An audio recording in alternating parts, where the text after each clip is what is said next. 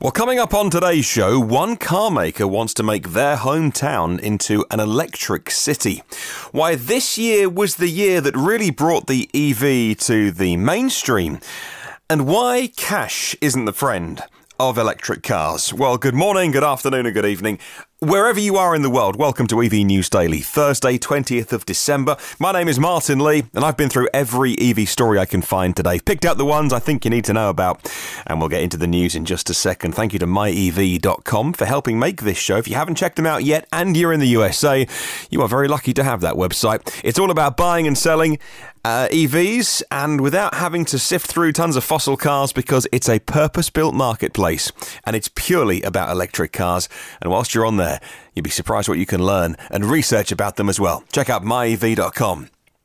Well, the rollout of the latest Tesla software includes something else that I didn't mention yesterday Pole Position, a brand new version of the existing Tesla Rati game, the old Atari game, uh, with uh, a Tesla twist there. Uh, based on the arcade classic, this one being set on Mars and appropriately named Mars Madness a heavily digitized Falcon 9 rocket.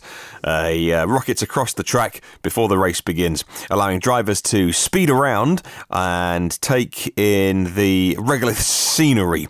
Watch out for the billboards, says Astro Jane, writing for Teslarati. Video game controllers are now compatible with the Atari games via the front USB port. And of course, if you are uh, on playing pole position, you just turn the steering wheel of your car to move the car left and right. I must admit, it's a little bit oversensitive, as it's pretty easy to go off the track, but that's kind of half the fun of it. It is all about making cars just make you smile. There aren't any other car makers out there putting Atari games into their cars and letting you letting you race by using the steering wheel. Really good stuff. If you've got uh, any of those updates and you want to let me know what you think of them, whether it's the toilet humour that we talked about before as well, you can email me anytime. Hello at evnewsdaily.com if you've got that update and you want to share your thoughts. Well, moving on to one automaker that has big plans for their home city, Opel, or maybe I should say Vauxhall, depending on where you live around the world, have already announced the electrification of their first car going all EV, the small city car that is the Corsa, but now they want to turn their home city into an electric city with 1,300 charging stations over the next couple of years.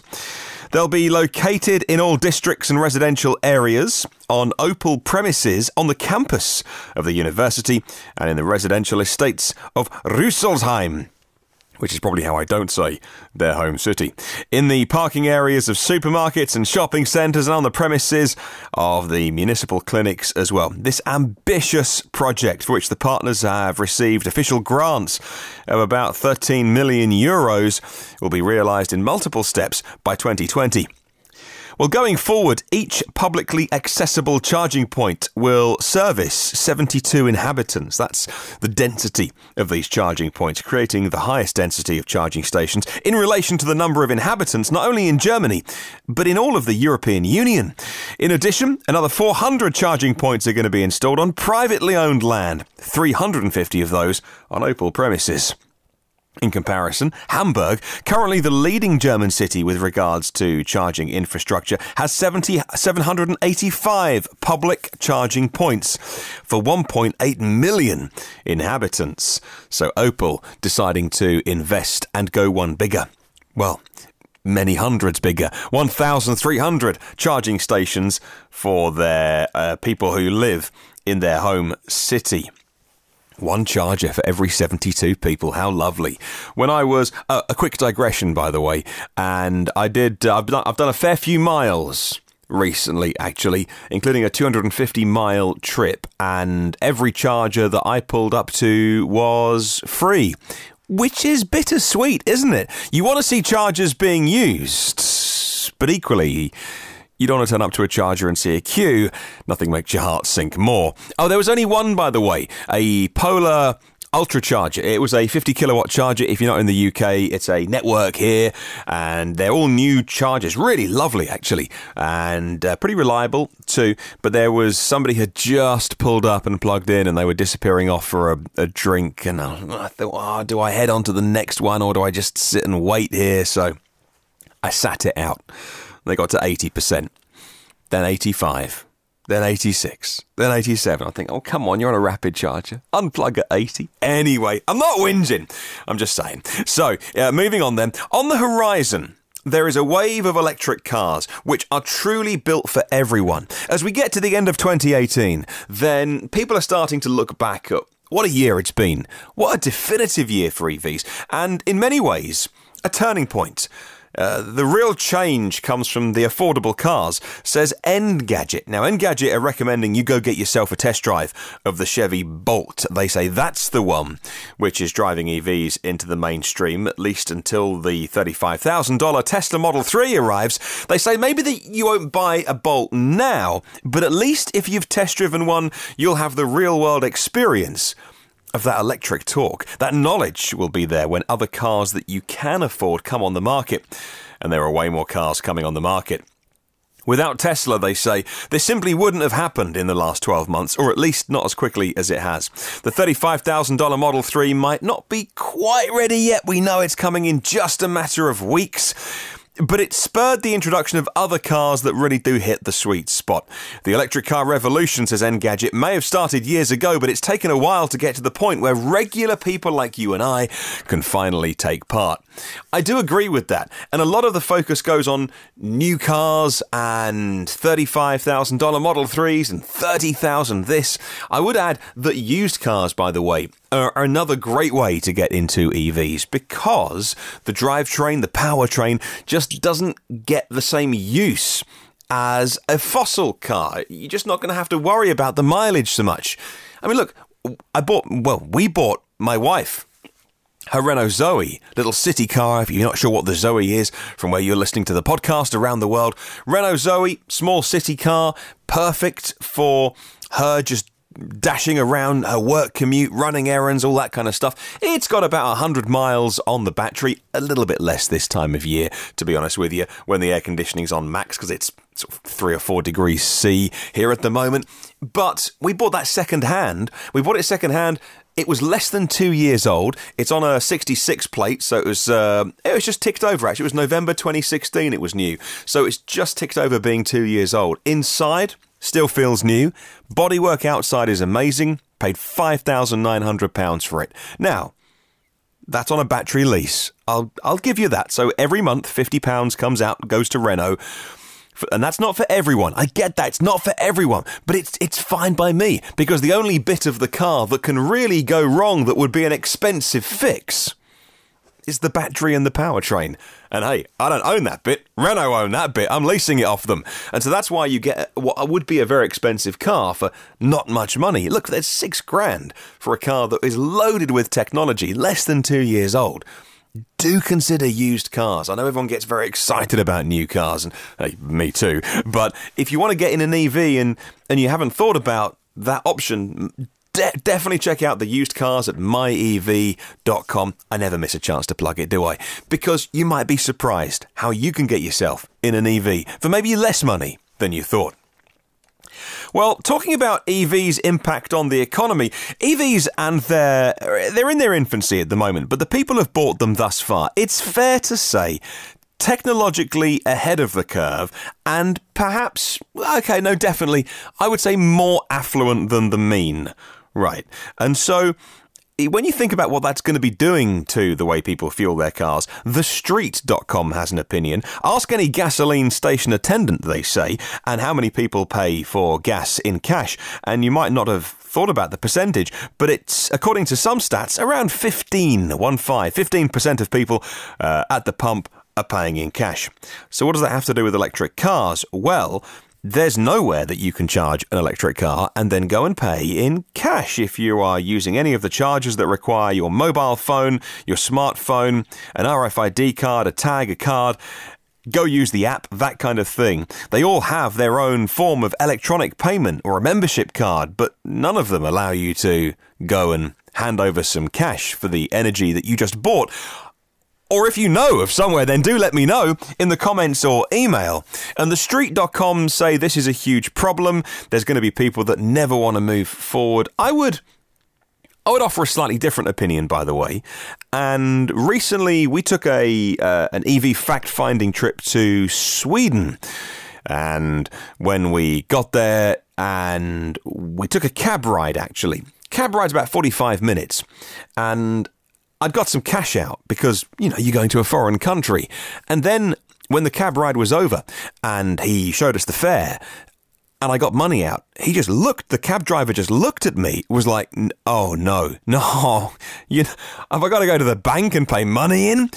Sweden is almost, uh, well, everywhere that we went in those few days, a cashless society. And you know what? It felt good. It felt fine. I never felt, I, I, I bought a chocolate bar and a bottle of water. It was like it was I don't know, like a couple of dollars equivalent, and just tapped my card. It was all contactless, and just tap this, tap that, tap your phone, tap your card, and the micro payments coming out. And I must admit, it felt very natural, and at no point did I think, "Oh, I don't like this vision of the future." But the TheStreet.com would disagree with me. They're saying that EVs are going to leave a certain subset of people behind. Do you agree or disagree? Let me know. Chargers are getting smarter, and now a London based EV charging manufacturer today announced the release of their smart home charger, according to Utility Week. They're writing about a company called Andersen EV. And I must admit, the thing about the Andersen chargers, uh, and I've never really looked into them that much, is the style. If Apple designed chargers, I think they'd look like this. Andersen with an EN at the end of it, by the way. If you want to check them out and Google them, they make really beautiful products, but I've never really looked at the tech specs of them, never having considered buying one for my house. The company says their new product is Wi Fi compatible and it's able to connect to things like your solar panels if you've got some PV and power walls, maybe you've got some home storage, to allow the EV to become a, what they say, a zero carbon mode of transport. The user is able to monitor and manage your charging from a mobile or laptop via the subscription free app. It's called Konnect with a K. Nice. Uh, the app gives information on current status, live energy use, the cost of charging, and you can directly manage charging from the solar panels as well. It allows remote locking and unlocking of the unit if other members of the household want to charge, or I'm thinking actually, maybe you put this on some sort of public network. There's a big app in the UK here. It's called Zap Map. They've got a thing called Zap Home, where if, if you want, you can put your home charging station on the map, and people, if they're desperate, if they're in the area, they can come and charge at your house, and you know you can charge them for that. I, I, have never really done that, but I must look into that more. Seems like a great idea.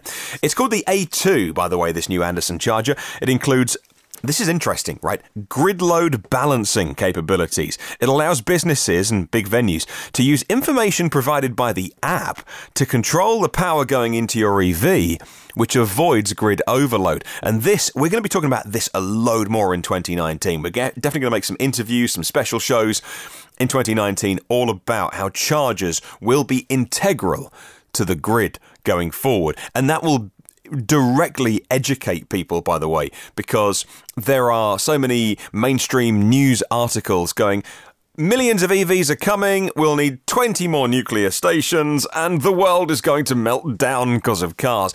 Actually, there is not only really good arguments for why EVs help the grid, there is there are some studies where people have crunched the numbers and say, actually, the more EVs there are, the better it is. For, you could actually need less generation in the future rather than more. So uh, I'll uh, I'll put a link to the article in the show notes. Maybe wherever you're listening around the world to the podcast, you've got your own local charging uh, charge point producers who are doing something similar. Uh, but some interesting things being done here in the UK. Right, two final stories, and uh, we're going to give two gold medals to Norway today. Firstly, Norway's getting closer to building the world's first carbon-free cement plant. Cement plants are not a pretty sight, and one located in southern Norway is no exception, but inside the grey walls of its office buildings, the employees are quietly planning a revolution that could have worldwide repercussions. In 2013, the factory set out an ambitious goal. They want to become the first zero emission cement plant in the world. So, first gold star to Norway. I know it's not about EVs, but it is about sustainability mm. and so many people say, well, you know, EVs might be clean, but what about the factories they're built in and the factories that so, an example that things, even the factories that make the cement, that build the other factories, are going zero emission. And finally, second gold star going to Norway. Uh, Hyon AS has been awarded grants under a new pilot scheme for the development and realization of two maritime projects a high speed ferry and a short sea freighter. The ambitions of both projects are zero emission propulsion at sea via fuel cells using hydrogen produced from electrolysis based on renewable energy. Not one, but two gold stars to Norway today.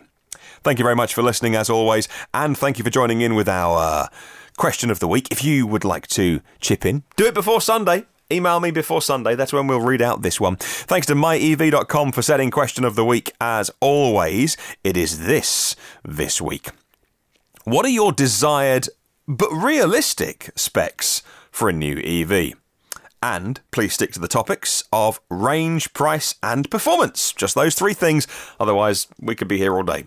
What are you? What is your desired but realistic specs for range, price, and performance? Let me know your thoughts email hello at evnewsdaily.com. Use the comments on YouTube or the website or myev.com.